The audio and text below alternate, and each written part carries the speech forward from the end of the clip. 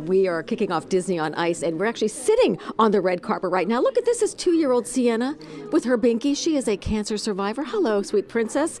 And over there goes Dad. And over here we have all kinds of wonderful Disney characters hanging out here in the VIP suite with celebrities like Minnie Mouse, and of course, we'll see the rest of the Disney cast when they take to the ice. Many of these kids have been unable to get out and mingle with crowds because of their cancer treatments. So tonight is a big deal, and of course, they are dressed up as their own favorite Disney characters. Uh, her name's Mirabel, and she's from a movie called Encanto.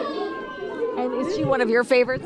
Uh, yeah, I like that movie, and my doll is also dressed up as my, the same person as me. The only time we ever come into the city is to come in for, for Grace for her treatments. So coming in for a different reason and enjoying it, this is kind of like an exciting thing. They've been waiting. They were waiting in the car when I got home from work to to make sure that they could get here as fast as they could. The show will start at 7 p.m., and these little princesses and Buzz Lightyears are more than ready to take their ringside seats. Uh, the, the excitement is building here in the VIP room. Disney on Ice Magic in the Stars does run here at the Garden through Sunday, so if you don't catch tonight's show, there are a few more chances.